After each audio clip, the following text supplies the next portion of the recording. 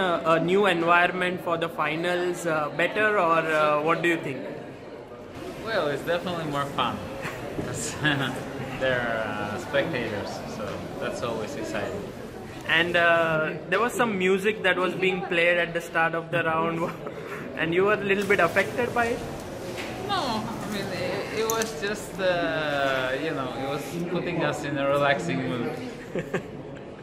And uh, Levon, we really like your shoes that you have worn. Can you can you tell us something about it? Uh, It's uh, Arianne's present.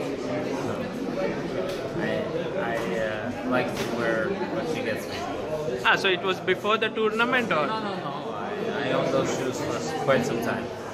okay? And can you tell us something about the game? This move D4 played by uh, Ding Liren was played by uh, Nakamura against Topalov in Grandchester Blitz. Did you had had you prepared something against it? Yeah, I. Uh, you know, we we've been moving hotels, so uh, I didn't have so much time to prepare.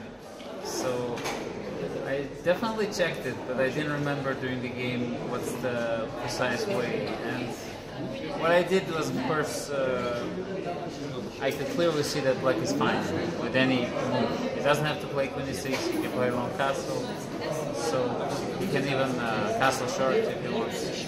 So uh, yeah, I wasn't particularly happy. Then I think I got something not substantial, but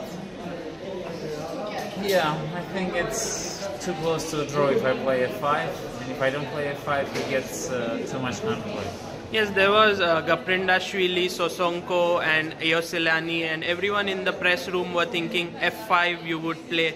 Uh, just a few, just a line why you rejected F5. What was going through your mind? It just takes and then plays uh, Rook F- f7, knight d4, rook g4, knight b5, knight e6, d4 c6, rook a3. I thought cb d5, but there uh, black has uh, some move. I forgot. Black is doing, black is okay there. I think.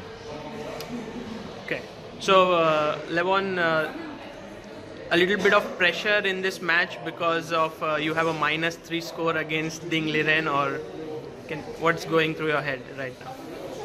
Nothing much. I mean, uh, I've uh, the times that I've lost against him, I fully deserved it because of the disrespect.